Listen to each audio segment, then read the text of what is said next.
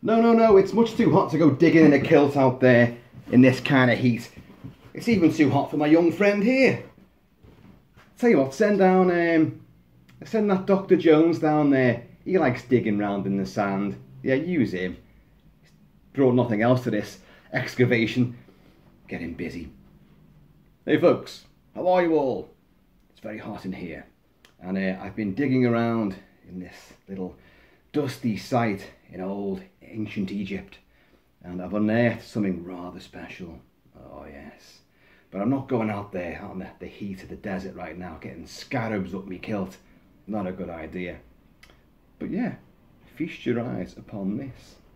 We're going back to 1932 and director Karl Freund's excellent, dreamy, hypnotic masterpiece for Universal Horror Pictures, The Mummy, with Boris Karloff playing The Mummy. And of course, the very famous scene is that during the opening, we've got to the, the dig, the excavation, and Bramwell Fletcher, playing Ralph, has been left to look at the air, the scroll of Thoth. Isn't it weird? Boris Karloff is going to play the reincarnation, well, the revived mummy of uh, Imhotep, and he's got a lisp in real life, and he's got to use the scroll of Thoth. Only he could properly say that. He probably couldn't say scroll, scroll, scroll of Thoth.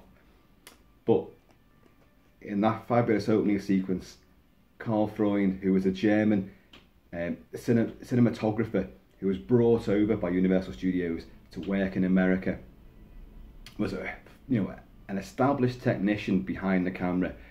He was also you know, a huge mover and shaker when he started to bring sound in as well, and because he's the first guy to put sound on magnetic tape, and also the guy to bring in colour as well.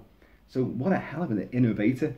But his directorial debut was The Mummy, and The Mummy, of course, Boris Karloff plays the revived Imhotep, as I say, and once he awakens, he then goes into disguise as Ardath Bey, a renowned Egyptologist running this museum in Cairo. But he gets the hots for, um, oh, what's her name? Zita Johann. Because the mummy always, always, like Dracula, will see a reincarnation of a former love. So he'll then pledge the rest of his existence to try to bring the two of them together, sometimes against the woman's will, sometimes not. You know, sometimes they genuinely are a reincarnation of this long lost love. And it's a very sedate and very quiet and measured movie, but it's very hypnotic, very powerful, very dreamlike. The camera work again, which actually, you know, Karl Freund didn't do, even though he was this established cameraman. Um, but it has these dreamlike sort of tracking shots and very fluid shots, but then these very static moments. There's not a lot of action in the film, but there's a lot more than people give it credit for. You've got the huge elaborate flashback sequence of the actual mummification of Imhotep, and you've got all these slaves getting killed as well and spears through them. These scenes were so good they were used in uh, almost all the other Universal mummy movies from that point onwards as flashback scenes and you only ever see the mummy very briefly in marvellous makeup applied by Jack Pierce. Jack Pierce, the makeup guy who Universal always used, who created, you know, the Wolfman. He created so many looks for Eye of the Lost Souls, uh, lots of transformations for Bela Lugosi and Lon Chaney and Glenn Strange. This guy was absolutely amazing, and his work on Boris Karloff for this. Now, of course, Boris Karloff is the perfect man to apply these large scale makeups to because he's very, very gaunt, like Peter Cushing in later years. Very, very gaunt, very sunken cheeks, you know, very emaciated. And as any makeup effects guy will tell you, that if you've got a, a bit of a chubster and you're applying makeup to him, like say you want a gouged cheek, well, if his cheek's out there, like imagine putting the makeup on me, to put a, a fake cheek on with a big gouge in it, the head's going to be like a pumpkin. So you need someone very, very slim because when they're slim, you can put the makeup on because you've still got to cut into it without cutting into the real flesh, obviously. And therein lies the essence of the magic between Jack Pierce and Boris Karloff, obviously for creating Frankenstein's monster as well. And Karloff has these fabulous eyes, they made Frankenstein's monster so soulful and enigmatic and pitiable and yet frightening at the same time. And for the mummy, in both this early sequence, which I'm going to chronicle here, and when he plays Ardath Bey, who's very desiccated and has, you know, he's got his little fez on, but ostensibly he's a, a normal human. He's not like three and a half thousand years old, which he really is. But the skin is like parchment. It's just completely, you know, emaciated. But back in the mummy, when he's actually wrapped up, the bandages look amazing. The, uh, the way they've been applied and they stop around the neck. And, uh, and it, but his flesh is all withered, sunken, decayed. But when foolish Ralph reads aloud from the, uh, the scroll of Thoth, you know, which obviously reawakens the mummy, one eye slowly opens and a little key light is shone in that eye, so it literally shines. And then, of course, in the famous sequence, you don't see the mummy move, you only see the eye open, and his hands are like that, and he's got his scarab beetle ring on, and then the hand begins to suddenly move. But what you will see is the hand come in from out of shot to remove the scroll as Bramwell Fletcher is reading some, something else and distracted, and then turns around and has one of the best reactions ever in early cinema, early horror cinema. It literally, in a film that's pretty much quite quiet, murders do take place, suspense is there, and, and a, a strong eroticism as well, which is what, you know, kind of makes it a little bit, ooh, it is a little bit taboo as well. Um, this lust from beyond the grave. But it's his reaction in these opening moments which sells the movie completely and test audiences and you know anyone who saw that film at that time was forever absolutely having nightmares about it his reaction he, he goes into hysterics and then his, his maniacal laughter he is his, his mind has completely snapped and it's so so convincing the way he does it it's out of this world but of course on the initial screenplay, Carl Laemmle Jr., who was head of Universal Studios at the time, came to um, a bit of a clash with Karl Freund, the director, uh, because he wanted to harken back to the initial reveal of Frankenstein's monster from James Whale's Frankenstein, Uh, which was the year before, 1931, where it was like a succession of close-ups getting really in tight to Boris Karloff's cadaverish face and he said, that's how we show the mummy coming to life. But Karl Freund, and apparently they almost came to blows over this. Karl Freund said, no, no, no, no. Let's not show him moving at all. We'll just show the eye opening, the hand moving, and then the hand coming into frame and taking the scroll. That's it. That's all we need. And then a little bit of a trail of bandage going out the door. And that's perfect. You know, the audience imagination will do the rest and it's going to completely sell it, which of course it did. But this was a very confusing time for um, Universal. They'd had a huge run of success with the likes of Dracula and Frankenstein, and uh, but they were kind of, is horror the right thing for us? So they began to change what their style was going to be. Or we maybe should stray away from um, the graphic, you know, visual horror and go into more sort of weird mysteries. So the script for The Mummy changed so much over you know, the months preceding its going into production. And initially there was a, a script called Cagliostro, King of the Undead, where the mummy was going to be revived and then in later centuries was going to become quite a renowned um, necromancer and sorcerer called Cagliostro. And they were going to base the real life Cagliostro upon you know, the mummy having inhabited this soul. And uh, but there was too much sort of sci-fi elements because he was keeping himself alive with like this sort of these weird drugs and chemicals. So Carl he said, no, no, no, no, no. Let's let's go back to ancient Egypt and the mummy and the curse of the pharaohs, because what had just happened only a few years before? Yes, Carter unearthed the tomb of King Tutankhamun, and the curse of Tutankhamun was then in full effect, and public attention was totally besotted with this so who did he turn to to write the final script for The Mummy? John L. Balderston. And John L. Balderston had worked on Frankenstein and Dracula as well, and he would do many more movies for the Universal Horror cycle. he had adapted his own stage play of Dracula for the screen. He worked on the story idea for Frankenstein and then later Bride of Frankenstein. So this guy was, you think, perfect. He's more perfect than you can actually imagine because he was there. He was a journalist at the time when Carter unearthed Tutankhamun's tomb. He was actually there at the unveiling of all this.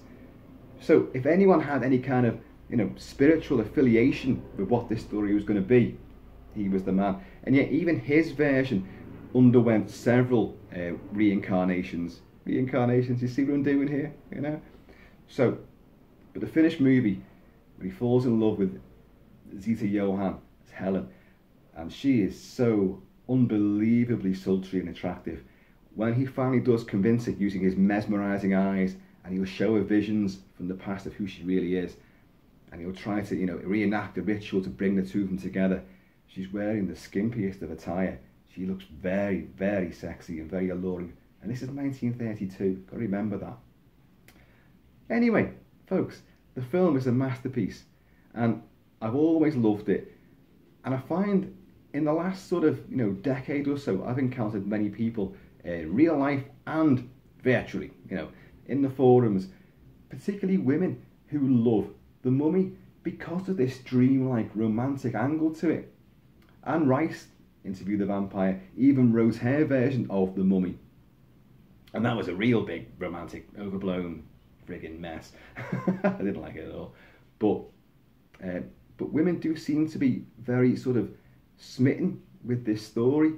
And it's, it's heartwarming that the, the film still lives on. And people that you wouldn't expect, you know, teenage goth girls with piercings and tattoos up the wazoo and back, but they're smitten with the mummy and not Brendan Fraser. No, it's Boris Karloff and all that. So let's drink to that. But, folks, as the title suggests, I've got something to show you here. From Universal Studios Diamond Select range. Look at this. There is an exact reproduction of the sarcophagus that houses Imhotep during that opening sequence. There it is. Look at the detail on that. Look at the colours. In reality, the sarcoph sarcophagus or sarcophagi would be really vivid and garish in, in colours. And obviously with this, you can tell but what they've done, they've weathered and aged it, so the colours, which were bright and vibrant, have obviously, you know, been dulled over the passage of time. But look, look at all the emblems and, you know, the, the writings, the hieroglyphics, the design work. Look at the detail on this. Look at it. And it, tell you what, it weighs a fair bit. Look at the face. You know? And the base. The face and the base. Look at the base. There's lots of weathering and cracks and all sorts of age and wear and tear on it. And the colouring, you know, the stone is immaculate. But it's what's inside though, folks. Let's get this right. We've unearthed it. Now we're going to open it. Oh, that age-old air and gas will come out. And who do we find inside? Da, da, da, da, da, da, It's Imhotep himself, Boris Karloff. Now, folks, I don't know who sculpted this. I really don't. And I've, the packaging is there, and I've looked all over it, and I can't find it. So I'll tell you what, I'd be crap on excavations. Because it's probably in big letters there, and I've just gone, oh, no, it's not in there. Can't find it. The figure comes out, and we genuinely have a wonderful recreation of Boris Karloff in Jack P. Pierce's makeup as Imhotep the Mummy. Perfect in every way. The hands are crisscrossed the right way. If you can see there, and if you can see the scarab beetle ring is on his finger there. The bandaging does stop around the neck and the face is that emaciated face. The eyes are shut. The hair was, was waxed back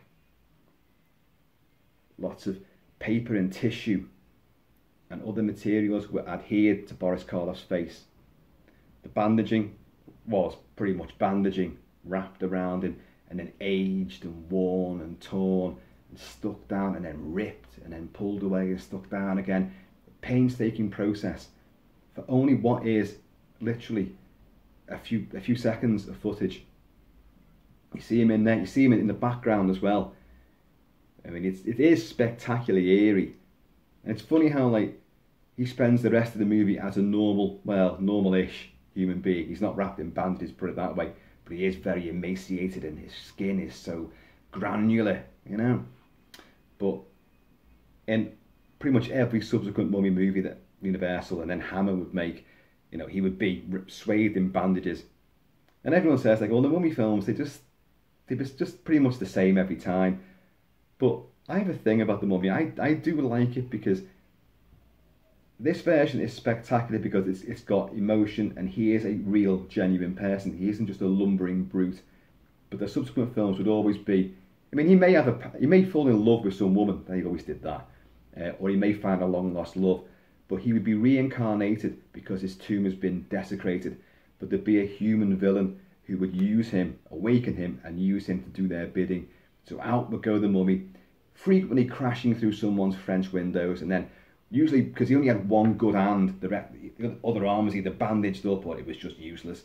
And a one-handed stranglehold, and he forced them over the desk, crunched the neck in. Or in Hammer's version, with Christopher Lee playing Kharis, not Imhotep, Kharis. He would break the backs of these people. Oh, God. But he, he would be slow, he'd be lumbering. And people say, like, well, that's not terrifying because you can easily outrun him. Well, maybe you can, but the thing is, he's not going to stop. He's like Michael Myers or Jason Voorhees. And although they may just strike at random, he's been given a task to get you.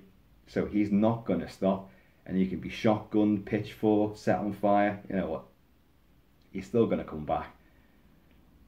Brilliant. I, that's why I like him because there's something relentless about his slow rampage. That if he's after you, shit, you know, you can run, but you can't hide. But there he is. This is a wonderful sculpt. Wonderful. There's no articulation in it whatsoever, but it doesn't need to be. You know, I think there is another version of this where he's in a kind of like ah pose. Well, maybe not snarling and growling, but his hands are outstretched. Uh, there may be some articulation with that, but this is the one that I like the most because that's how you see him in the movie. Trick or Treat Studios are about to release. This is October. No, it's not. It's August right now, 2020. But in September 2020 comes out the mask from the Trick or Treat Studios of um, Imhotep with the desiccated flesh from inside the sarcophagus, and also one of um, Ardath Bey with his fez on as well. I will be getting them. They're bringing out a whole range of Universal masks and Hammer masks as well. But look at that.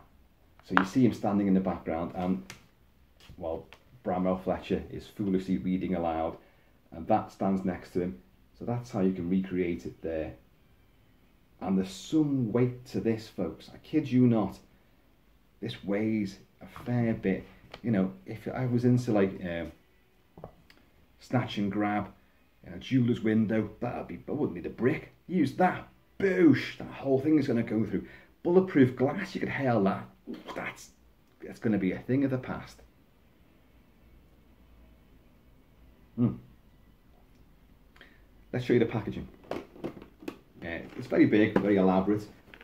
Nice design there, as Boris Karloff looks in the movie. The Mummy. Universal Studios, House of the Original Monsters. Nice little, um, you know, blister pack. Is that the phrase? Packaging, you know, it's very nice and secure in there should you be about to go and order one yourself. On the back, that's what you're getting, obviously. And there's the things that they also did. I think there's more in the range now. Um, Creature Bat Lagoon, that, that'd be awesome, that. But I like this. Look at the, the, the little fun set here of the Wolfman. Because you all know that's my favourite character. And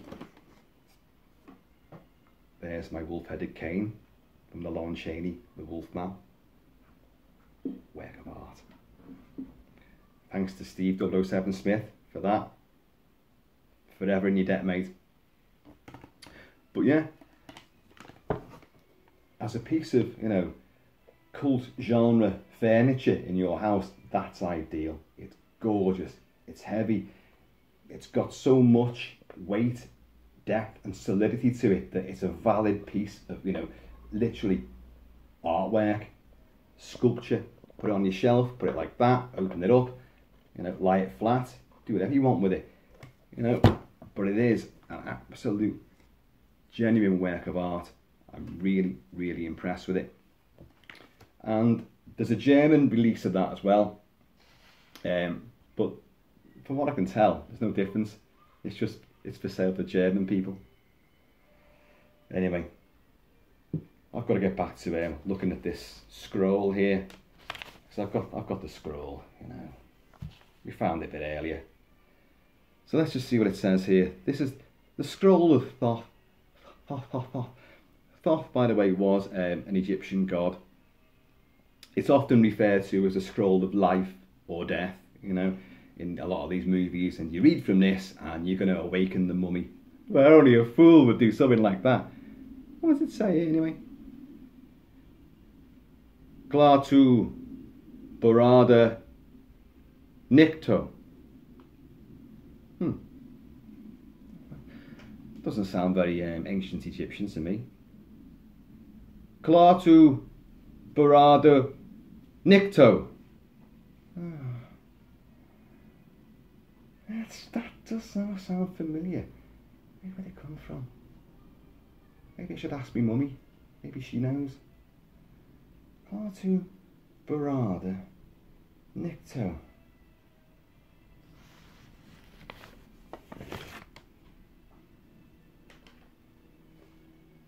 Ah!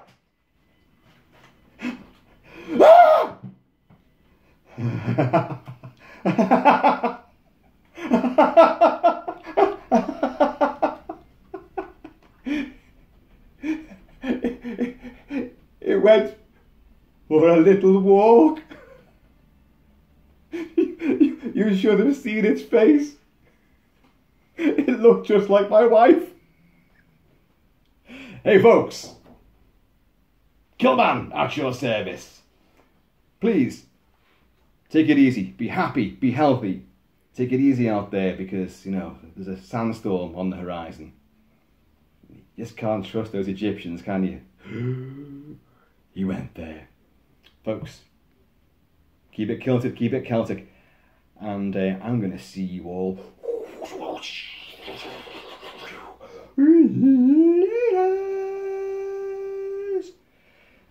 there was a famous Liverpool band, um, kind of influenced by e Egypt Egyptian music. Couldn't say that then. They were called the Scarab Beatles. Ah!